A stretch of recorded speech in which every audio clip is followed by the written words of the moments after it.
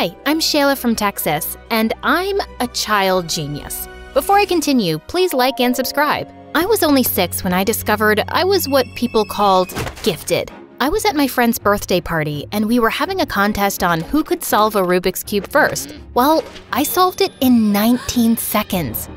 Mommy, mommy, mommy, she cheated! That's crazy. How could I cheat? You were watching me the whole time. Stop lying, Shayla. There's no way you could solve the Rubik's Cube that fast. Now go sit in the corner. But that's so unfair. I didn't want to play more party games after that because all the kids kept calling me a cheat. When I got home, I told my parents what happened, and a few days later, they had me tested. And it turned out I had an insanely high IQ, just like my mom, who was a respected neurologist. Cool, right? Well, not exactly. I got moved up two grades, which meant I was the youngest in the class, and no one wanted to be friends with a little six year old who was every teacher's favorite. By the time I got to high school, I felt like a total outcast.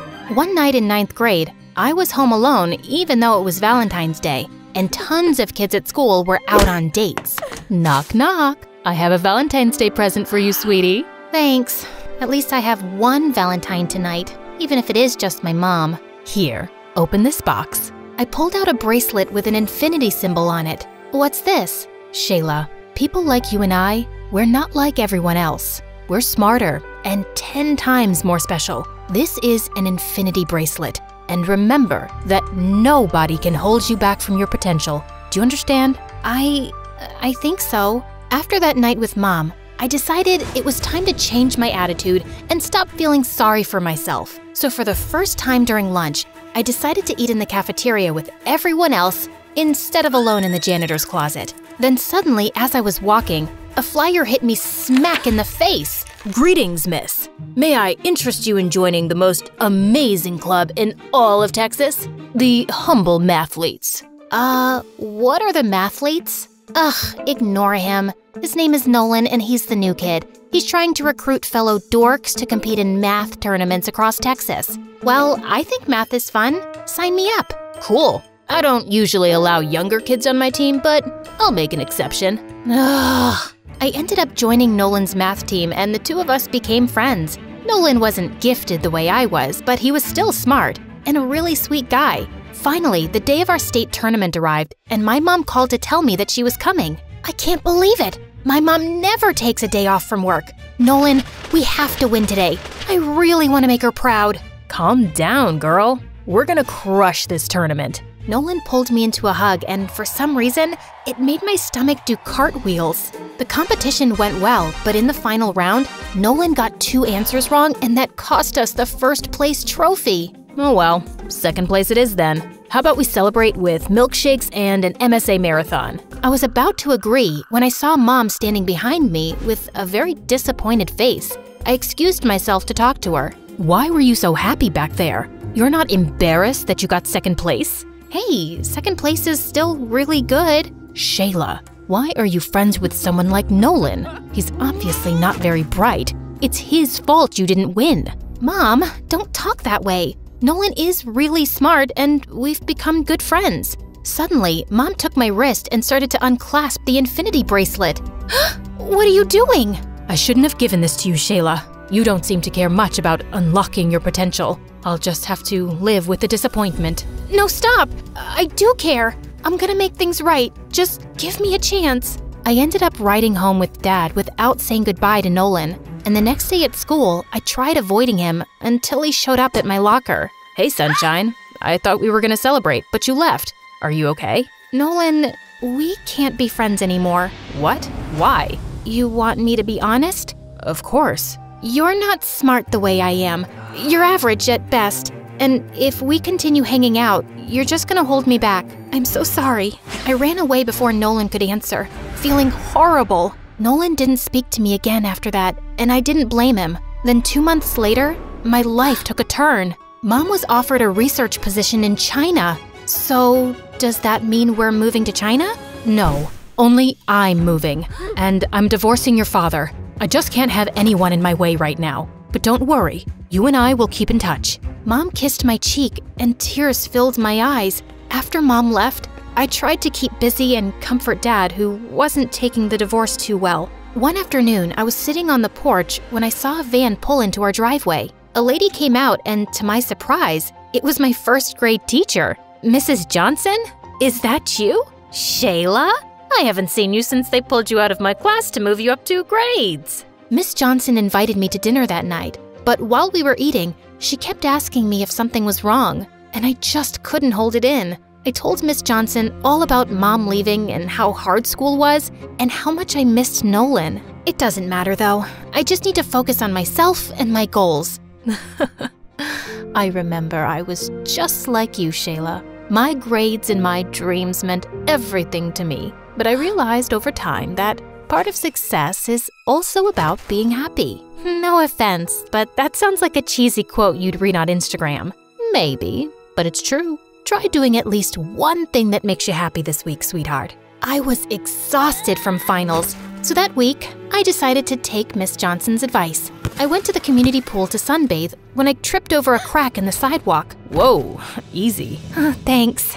At that moment, I realized the lifeguard was Daryl, the most popular guy in school. I usually save people from water, not concrete. You look familiar. I feel like I know you from somewhere. What's your name? I was about to tell him, but then I paused. Boys like Daryl usually never talk to me, and I wanted to start off on the right foot. I'm Cher. I'm Cher, like the singer. and you're pretty like her, too. I'm having a party tonight. How about you be my date? Whoa, did he just ask me out? Of course, I said yes. And that night, I got super dolled up for the party and even bought a new dress. The party was so much fun, and I danced with Daryl for hours. And when I saw the other kids at school there, I told them I'd changed my name because, well, I had a chance to be a new me. At one point, I had to go to the bathroom, but I opened the wrong door, which apparently was a bedroom. Oh my god, what are you doing in my room? Nolan? I. This is Daryl's house. Yeah, and my mom and I moved in here two weeks ago. Daryl's my cousin. Oh, I didn't know that. Of course you didn't. Daryl doesn't want to be associated with nerds. How did you get invited here anyway? Actually, I'm not a nerd anymore. I've decided to change. Also, my name isn't Shayla anymore. It's Cher. Cher? Yeah. So, if you could call me that from now on, no, I don't have the time or energy for this. Go back to the party, will you? And don't walk by my room again. Nolan slammed the door in my face, and I felt bad. But I really didn't want to deal with the drama at the moment. I just wanted to have fun. A week later, Daryl and I started dating. I asked everyone to start calling me Cher instead of Shayla, and just like that, I became popular. I started dressing differently, and I didn't wear my infinity bracelet anymore. One day at school, the teacher handed back last week's physics exam, and even though I hadn't studied as much, I got a 100. I was grinning to myself during recess when Daryl took the paper out of my hand. What you got there, babe? Whoa, you got a 100 on a physics test?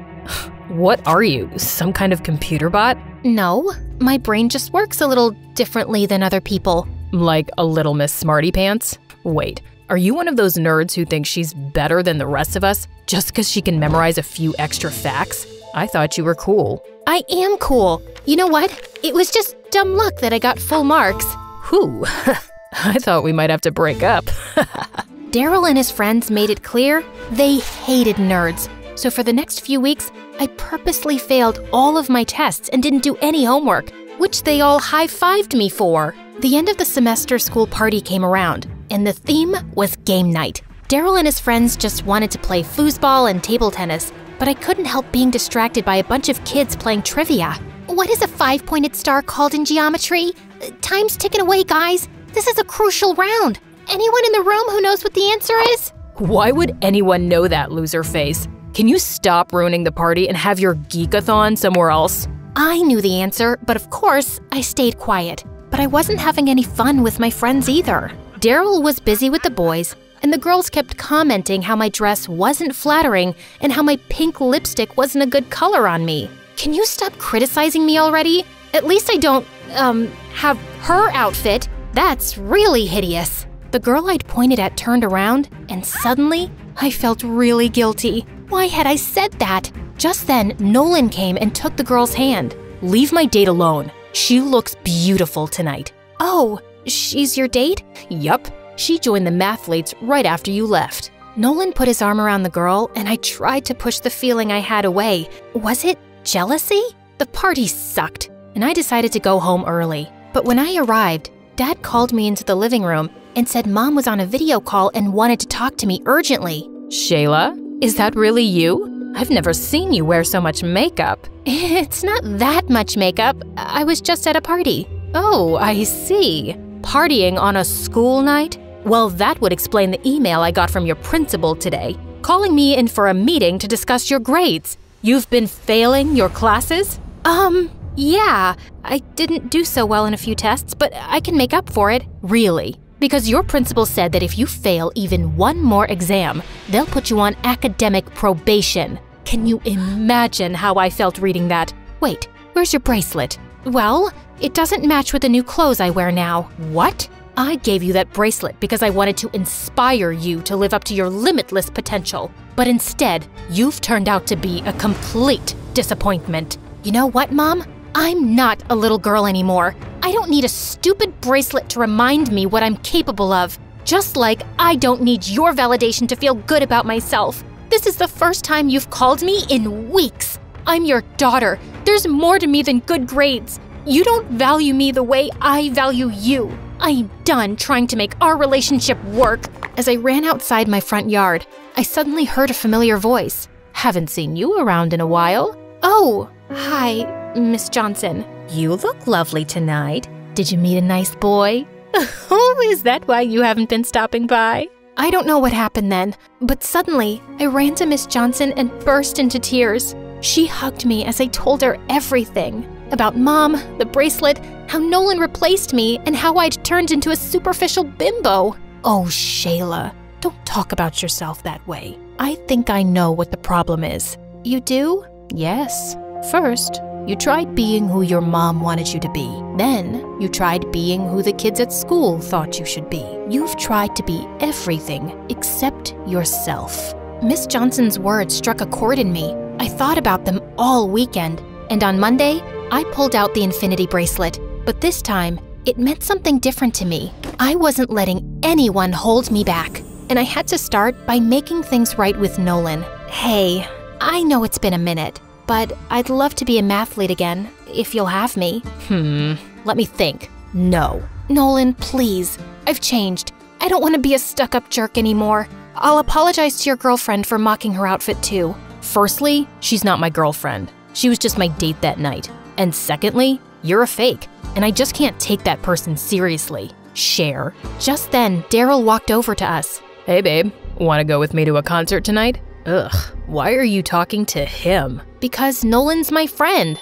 I'm really not. You were at one point. We were on the Mathletes together. The Mathletes? That's a club for losers. You're better than that. Come on, let's go. Daryl started to pull me away, but something inside me snapped. No, I'm staying here with Nolan, and he's not a loser. He's your cousin, and maybe it's time you start treating him with the respect he deserves. I should have treated him better too. Aw, that's a cute speech. But if you want to be my girlfriend, you can't hang out with my dork cousin or join the mathletes Cher. Isn't it obvious that I don't want to be your girlfriend anymore? I feel pathetic that I dumbed myself down to fit in. I'm a nerd and proud to be one. And just for the record, I know what a five point star is called in geometry. It's a decagon, and I'm going back to being Shayla. I marched off like a boss, pulling Nolan behind me. You know, maybe you can rejoin the mathletes. We are one team member short, and there's a tournament coming up. Oh my god, you mean I can be on your team again? And you forgive me? Oh, Nolan, thank you. Hey, I didn't say I forgive you, but I do need your brain for the competition. I'm not exactly smart the way you are. Nolan, I'm sorry for saying that. The pressure to succeed turned me into a toxic person. The truth is, I think you're smarter than me. I don't have a quarter of your emotional intelligence. That's nice of you to say. Thanks. Nolan hugged me and I felt my stomach doing cartwheels again. Maybe one day he could be more than a friend.